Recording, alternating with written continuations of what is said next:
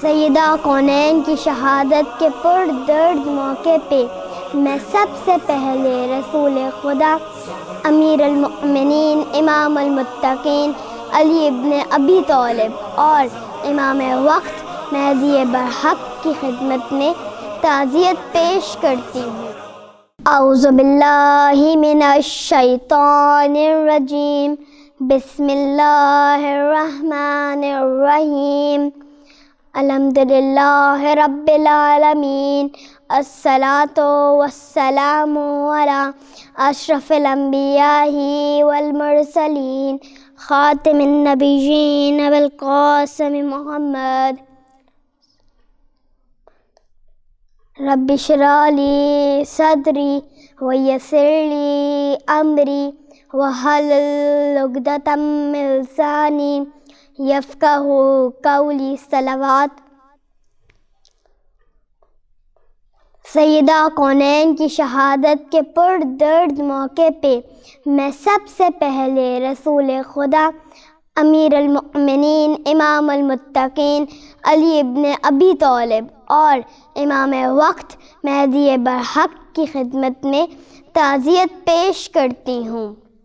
رسول اکرم فرماتے ہیں فاطمہ تو بسعت منی۔ فاطمہ میرا ٹکڑا ہے۔ جس نے فاطمہ کو اذیت دی، اس نے مجھے اذیت پہنچائی۔ حدیث بظاہر بہت سادہ ہے، لیکن اس کی گہرائی پہ نظر ڈالیں تو سوچ کے ابواب کھلتے چلے جاتے ہیں۔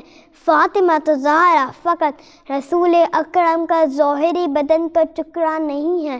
مومنات اگر ایسا ہو تو حدیث کے معنی عام ہو جاتے ہیں اور اس کی اہمیت بھی کم ہو جاتی ہے، کیونکہ ہر بچہ اپنے ماں باپ کا ٹکڑا یعنی حصہ ہوتا ہے۔ لیکن فاطمہ تو زہرا ظاہری بدن رسول کا حصہ ہی نہیں، بلکہ رسول خدا جس جس روپ اور جس جس مقام اور رتبے کے مالک ہیں۔ فاطمہ زہرا ہر اس مرتبے کا حصہ ہے اگر میں رسول کو مقام خلقت سے دیکھنا شروع کروں تو سب پہ واضح ہے۔ اللہ نے رسول معظم کو اپنے نور سے خلق فرمایا۔ اولا خالہ کا نوری۔ اللہ نے سب سے پہلے میرے نور کو خلق فرمایا۔ یہ نبی کا فرمان ہے۔ تو نبی، اللہ کے نور سے خلق ہونے والی پہلی مخلوق ہیں۔ تو فاطمہ اس نور کا بھی ٹکڑا ہے۔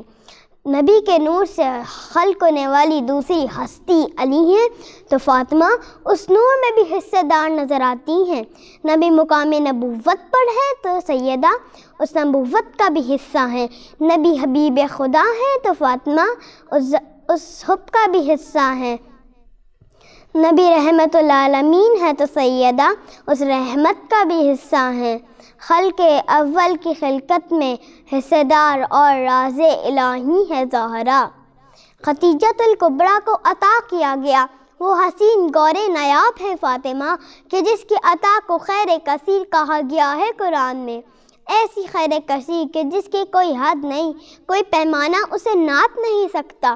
سوائے فاطمہ زہرا کے، کوئی اس خیر کشی کے قابل بن ہی نہیں سکتا۔ رسول جس کی عظمت کو بیان کرے۔ علی جسے رسول کل ایمان کہیں، وہ علی زہرا کو اپنا دین اور دنیا میں مددگار کہیں۔ حسن و حسین جن کے قدموں کو چومتے ہوں، ارے جنت کے سرداروں کی جنت کو، کہ جن کے قدموں میں رکھ دیا گیا ہو، اس ہستی کو کہتے ہیں فاطمہ۔ پر افسوس صد افسوس۔ رسول اکرم کی رحلت ہونے کی دیر تھی کہ ملائکہ کی سجدے گاہ کو آگ لگا دی گئی۔ وہ چوکٹ کہ جہاں سے کوئی سوالی خالی ہاتھ نہیں جاتا تھا، اس چوکٹ پہ نامحرموں اور ظالموں کا مجمع تھا کہ جن کے ہاتھوں میں تلواریں اور جلتی ہوئی لکڑیاں تھیں۔ ہائے زہرا کی عظمت اور یہ بے حرمتی کہ جس کی آواز تک نہ سنی ہو کسی نے۔ اپنے بابا کے جاتے ہی اتنی مجبور کر دی گئی کہ سیدہ کو ظالموں سے ہم کلام ہونا پڑا۔ اتنا ستم ہی نہیں تھا۔ ہائے میری بیوی، جتنے دن زندہ رہی، ایک ہاتھ پہلو پر رہا، لیکن یہ راز تب سمجھ میں آیا۔ جب علی نے زہرا کی میت کو غسل دیا تو زہروں کا تار گریا، فرمایا، ہائے علی کا دکھ بانٹنے والی زہرا کا درد علی نہ بانٹ سکے۔ ہائے میری بی بی ٹوٹی ہوئی پسلیوں کے ساتھ جتنے دن زندہ رہی، کبھی علی کو پتہ نہ چلنے دیا۔ بطول کا جنازہ تیار ہوا۔ علی نے بچوں کو آواز دی۔ حسنین آؤ۔ زینب و ام کلثوم آؤ۔